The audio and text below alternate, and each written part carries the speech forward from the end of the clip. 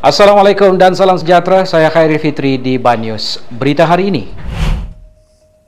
Jurucakap Pusat Gerakan Operasi Jabatan Bomba dan Penyelamat Malaysia JBPM Sabah memaklumkan Masjid Nurul Iman Sabindo berhampiran Taman Pantai Lok Kawi di Papar dilaporkan musnah terbakar. Dalam kejadian itu, masjid jenis paruh kekal berkeluasan 297 meter persegi berkenaan terbakar hampir 95% keseluruhan strukturnya. Seramai 14 pegawai dan anggota bersama jentera serta unit bantuan perkhidmatan kecemasan EMRS telah dikerah ke lokasi kejadian dan sebaik tiba di lokasi kejadian, operasi pemadaman terus dijalankan dengan menggunakan dua aliran sepanjang 100 meter dengan empat pancutan.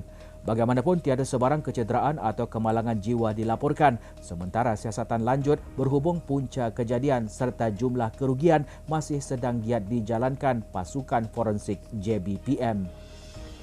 Saya Khairi Fitri di Banyus. Untuk sebarang info dan berita yang berlaku di sekitar anda, kongsikan dengan tinggalkan komen di bawah. Jangan lupa subscribe, like dan share video ini.